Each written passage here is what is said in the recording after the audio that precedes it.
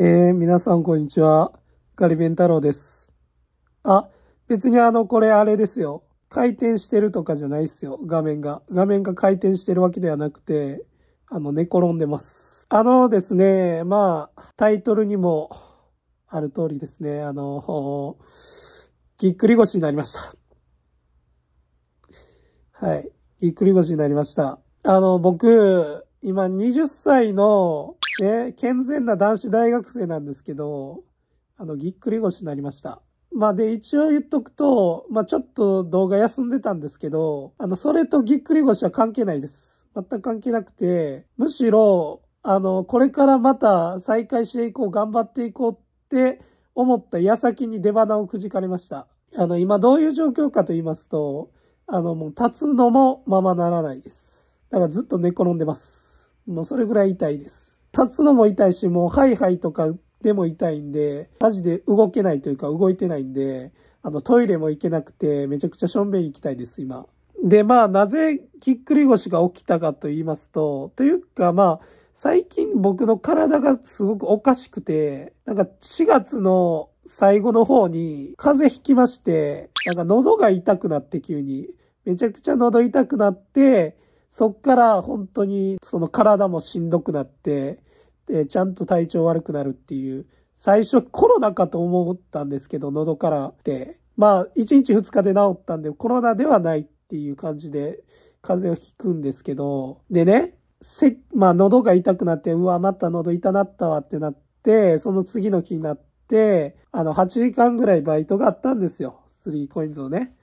ほんで、もう本当に僕はもうここ最近で一番しんどかったですよ、マジで。喉痛いだけじゃなくて、さっき言ったまあね、インフルエンザの時みたいなもうマジでちゃんと体調悪なって、でもその中で仕事を8時間するっていう、もうめちゃくちゃしんどい。最初花粉症やと思ったんですよね。花粉症もね、だいぶひどいんですけど、はい、もうだいぶしんどかったですね。まあ、今はですね、あの、もうだいぶ治りまして、あの、喉痛いのとかだいぶ治ったんですけど、またちょっと咳、あの、はするっていう感じですね。ちょっとだけ。で、まあ、なんでね、この話をしたかと言いますと、昨日ね、3時ぐらい。で、またね、バイト、スリーコインズ、あの、出勤30分前ぐらいに洗濯物を取り込んでたんですよ。で、もう洗濯物を取り込んだら仕事行くっていう感じ、バイト行くって感じやったんですけど、洗濯物を取り込んでる最中に席をしたんですね。そしたら、ゲクってなって、もう背中に衝撃走って、マジで膝から崩れ落ちたんですよ、ほんまに。もう冗談抜きで再現もちょっとできないんですけど、今痛くて。ギクってなって、それでもう立てなくなったんですよね。で、まあ、起きた当初はまだなんかちょっと動けたんですよ。行こうかどうか迷ったんですよね、バイト。でも、歩くのも痛いから、これちょっとさすがに無理かってなって結局休んだんですけど、それでまあ寝転んで、あの、安静にね、してたんですけど、痛みは増すばかりで、寝転んでても、なんか痛いというか、痛くないポジションを探すのが難しいぐらい、と結構どの体勢でも痛くて。で、しかも、もうあろうことか、なんか頭も痛くなって、僕、偏頭痛持ちなんですけど、なんかここ最近、大学生になってからは、あんまり頭痛くなかったんですけど、まさかのこの腰、ぎっくり腰になったこのタイミングで、久々の偏頭痛が起きて、腰も痛いわ、頭も痛いわで。で、なんとね、あの、携帯の充電がなくなりまして、で、もう本当にこの世に神も仏もいないのかと。充電器を取りに行くのもできないぐらい痛かったんで、もう本当に頭おかしくなりそうでしたね。携帯も見れないし、頭痛いし、腰痛いし、で、痛いんで寝れもできないっていうことで。だからもう物に当たるのは良くないですけどね、このふかふかのベッドをね、重くすバーンって叩いたりね、もうするぐらい、本当にもう、あの、な、泣きそうでしたわ、マジで。っていうかもう泣いてたわ。涙は出てないけど泣いてたわ。で、まあ一夜明けて、だいぶマシにはなったんですけど、まあそれでもまだちょっと立つのは、あの、きついっていう感じで、はい。今日も一応バイト入ってたんですけど、休みました。だからね、もうせっかくなんで、このぎっくり腰になりましたっていうのを、20歳でぎっくり腰になりましたっていうのをね、動画にしようと、あの、思ったんですけど、やっぱ YouTuber なんで、あの、被り気にするんですよ。企画の被りをね。だからぎっくり腰で動画上げてる人、まあいんのかなと思って、一応調べたんですよ。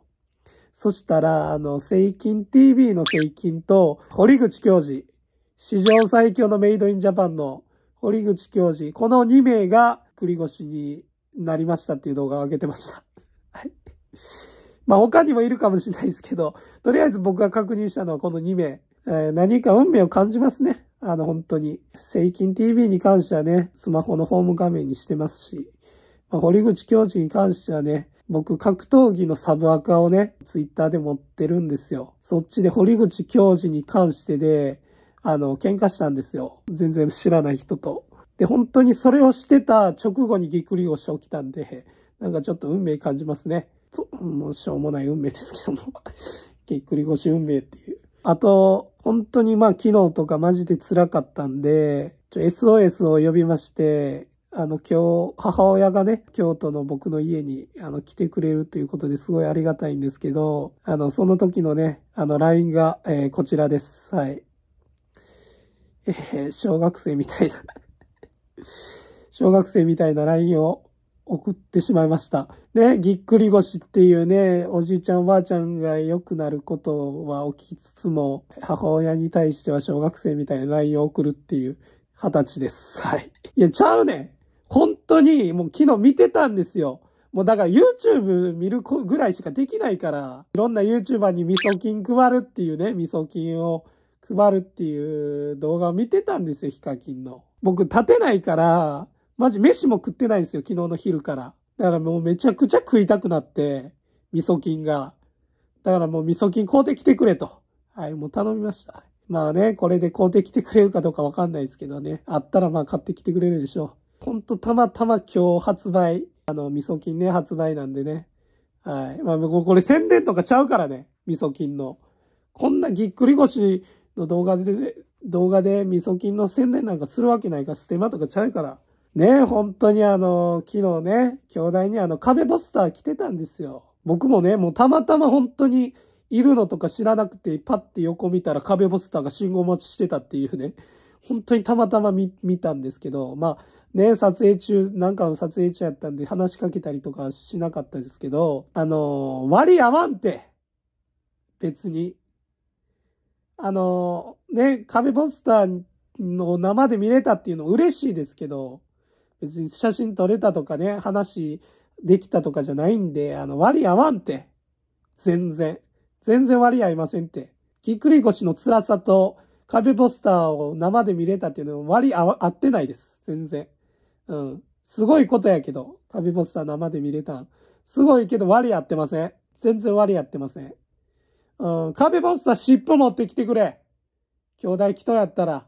はい、まあこんな感じで今日の動画はちょっと終わりにしたいと思います。まあ腰痛いんで、ね、治ったらすぐあげようとは思うんですけど、気ままに頑張りたいと思います。えー、ということで以上、ガリベン太郎でした。皆さんもお体には気をつけて、さよなら。